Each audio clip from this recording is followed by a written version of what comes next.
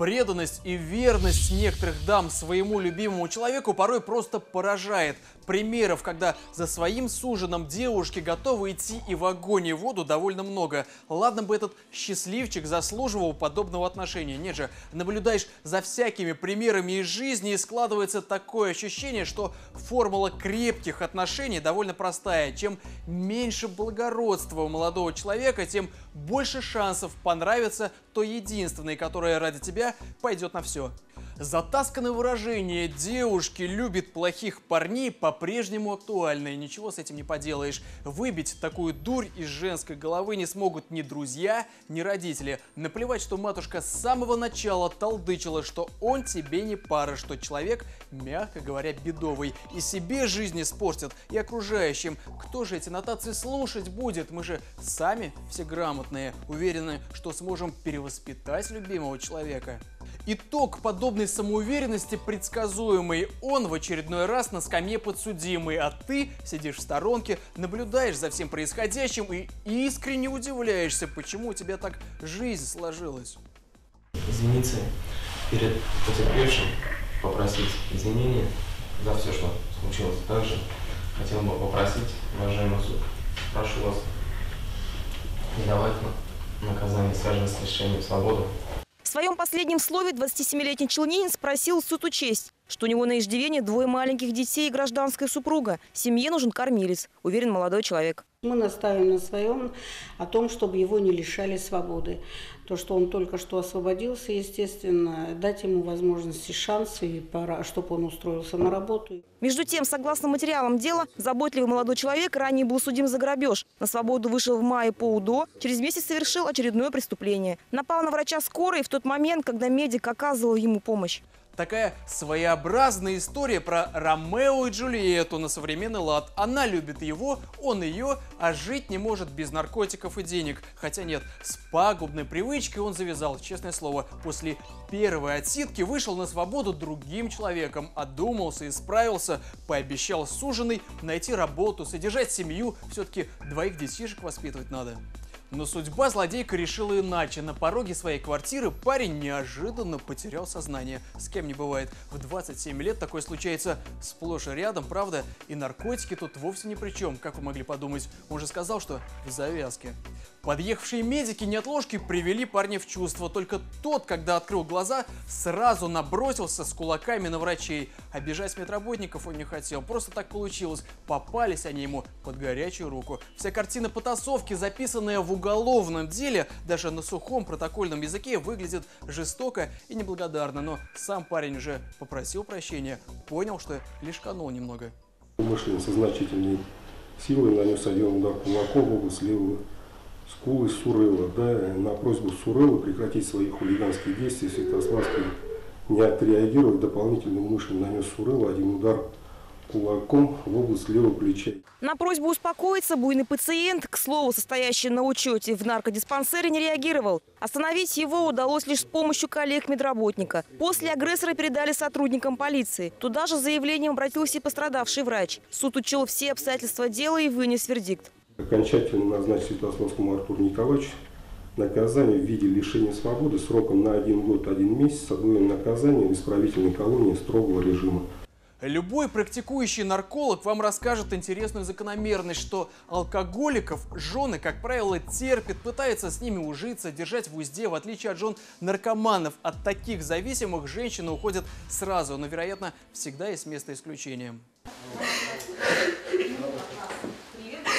Зал суда Артур Святославский покидал уже в наручниках. На свободе молодой человек находился по условно-досрочному освобождению. По идее, во время испытательного срока вообще должен быть поймальчиком. Но несмотря на такой залет, осужденный парень посчитал, что наказание в виде одного года в колонии строгого режима за то, что просто поколотил врача, многовато будет. Поэтому намерен обжаловать это решение. Но каким бы ни был результат, его верная гражданская жена снова готова ждать своего ненаглядного. Как это похвально. Зачем устраивать свою жизнь и искать кого-то другого на стороне, когда уже есть достойный человек? Уже обязательно исправится, а потом, наконец, вспомнит про своих детей. Надо только в это верить и ждать. Слупить деньги с незадачливых автомобилистов пытаются многие мошенники. Всевозможные подставы на дорогах широко распространены, особенно в крупных городах. Поведение организованных преступных групп, которые сначала инсценируют аварии, а затем вынуждает своих жертв поделиться наличностью, пока хуже не стало, всем давно известно. Это классика жанра. Второй нечистый на руку контингент желающих заработать – это ушлые пешеходы. YouTube буквально пестрит роликами с участием таких проходимцев. Их действия просты до банальщины. Главное – найти подходящую машину, и когда она будет приезжать мимо, броситься на капот. Насколько умело все пройдет, зависит от скорости машины и опытности самого мошенника.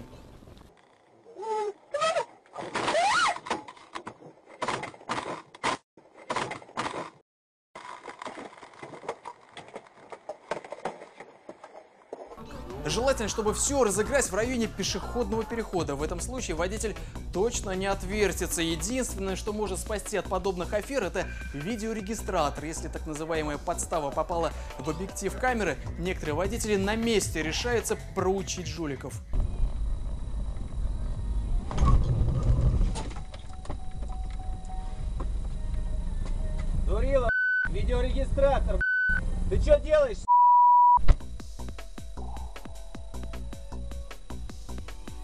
Совсем другое дело, если нет ни регистратора, ни свидетелей, которые приняли бы твою сторону. Тогда автомобилистам не позавидуешь.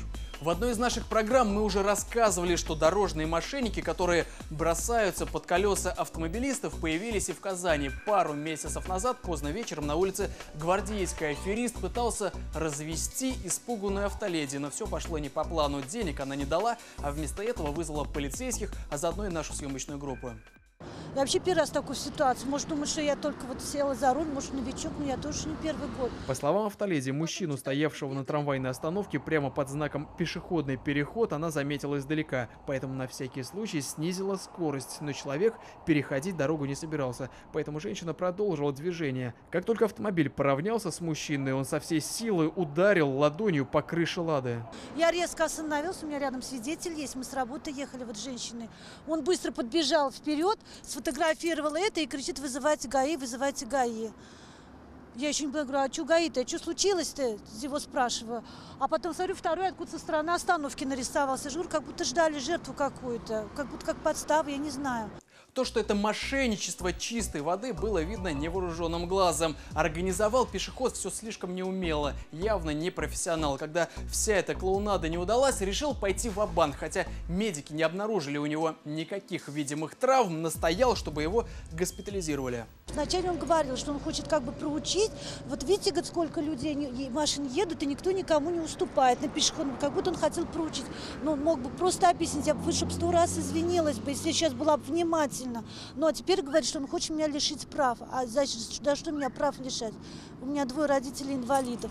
Женщине повезло, наказания никакого не понесла. Удалось доказать, что человека она не сбивала. И вот спустя время новый случай так называемого наезда на человека. На этот раз на проспекте Амирхана. Картина происшествия точь-в-точь напоминает сценарий предыдущей аферы. Место действия – пешеходный переход. Действующие лица – двое молодых мужчин. Те ли эти товарищи, что и в предыдущем случае, или же новые герои, еще предстоит установить.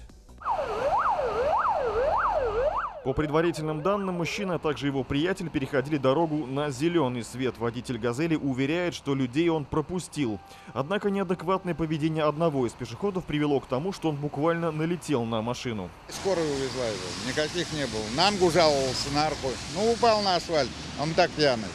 Пешеход получил незначительные травмы, максимум едва заметные синяки и ссадины. Тем не менее, этот пострадавший также попросил врачей обязательно забрать его в больницу. Надо же все полученные повреждения зафиксировать на бумаге, чтобы на суде быть неголословным.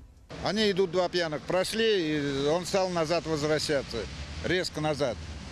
Потом стал требовать деньги, показывает 5 тысяч, дескать, разойдемся. Я говорю, пошел, я ГАИ вызову. Решение о том, кто же прав в этой ситуации, пока не вынесено. У водителя «Газели» нет видеорегистратора, так что формально с исковым заявлением в суд может обратиться любая сторона. Обычно привлечь дорожных мошенников к ответственности задача сложная. Даже если дело о лженаезде на пешехода доходит до суда и автомобилистам удается доказать свою невиновность, следом писать заявление на Фирюк, которые все организовали, никто не хочет. Слишком много сил и времени уйдет на то, чтобы их наказать. Почему-то мы привыкли к мысли, что в России всегда найдутся люди, которые тащат с различных заводов и предприятий всевозможную продукцию. Это вроде как неотъемлемая обязательная составляющая существования подобных организаций. Причем, чем крупнее такой завод, тем больше рыб прилипал и серьезнее их аппетиты.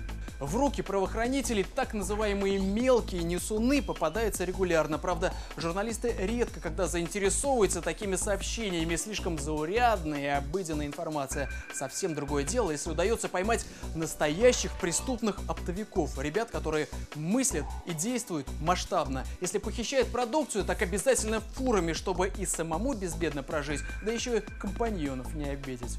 Как раз подобных товарищей оперативники поймали в Челнах. Жили они за счет автозапчастей с КАМАЗа. О том, что задержанные не простые воришки, а серьезная банда, говорит тот факт, что над уголовным делом трудились не только сотрудники подразделений по борьбе борьбе с организованной преступностью, но и ФСБшники. Последние несколько месяцев, вплоть до дня задержания 15 октября, участники группы особенно активизировались. Количество вывозов, а соответственно продаж ворованной продукции заметно увеличилось. А вот былую бдительность злоумышленники потеряли и даже не задумывались о том, что столь желанные покупатели – люди подставные, и все происходящее фиксируется на видео. Операция по задержанию стала итогом длительной разработки сотрудников МВД и ФСБ республики. В ходе обысков по местам их жительства – и в одном из гаражных комплексов полицейские сотрудники ФСБ изъяли часть похищенных с завода комплектующих. Общий ущерб составил более 5 миллионов рублей. В числе задержанных оказались как сотрудники завода, так же участники одного из организованных преступных формирований Челнов – до масштабных краж, какие были на автовазе в лихие 90-е, когда преступники буквально эшелонами вывозили и запчасти, целиком автомобили, ребятам из Челнов далековато. Но сейчас времена другие. Схемы хищения комплектующих коробкам передач разрабатывались местными челнинскими группировщиками, а исполняли рядовые сотрудники завода. Их задача была прятать продукцию в тайниках служебных машин и договариваться с охранниками, чтобы те не слишком принципиальничали во время досмотра транспорта. Более полутора лет вся бандейка жила припеваючи, тырили запчасти уже на миллионы рублей, хотя и этих денег оказалось мало. Хотелось зарабатывать еще больше, но, как обычно это бывает, жадность фрая разгубила. Наставшей последней сделки злоумышленники попытались расширить поле деятельности, продать не только комплектующие грузовикам, но и секретные чертежи новых запчастей. В случае продажи этой коммерческой тайны сумма ущерба могла бы составить более 150 миллионов рублей. По данному факту возбуждено уголовное дело. По признакам состава преступления предусмотрен частью 4 статьи 158 Уголовного кодекса Российской Федерации – кража в особо крупном размере, совершенная организованной группой. В ближайшее время все семеро задержанных предстанут перед судом. За незаконное получение и разглашение сведений, составляющих коммерческую тайну, наказание не особо серьезное. Так, крупный штраф. Больше задержанный опасается другой статьи Уголовного кодекса. Это кража в особо крупном размере, совершенная организованной группой. А это уже до 10 лет лишения свободы. Эти и другие сюжеты вы можете посмотреть на нашем сайте эфир24.тв. Это была программа «Перехват за неделю». Не становитесь героями наших сюжетов, учитесь на чужих ошибках.